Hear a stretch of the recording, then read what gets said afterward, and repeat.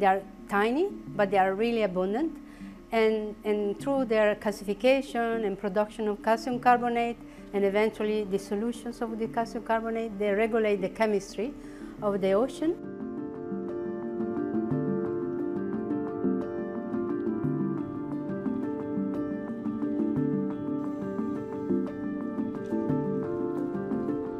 We are pumping huge amount of, uh, of uh, anthropogenic carbon to the atmosphere, and this is altering, of course, the, the climate system. We know that 30, about 30% of this carbon that we are emitting is actually sequestered by the ocean.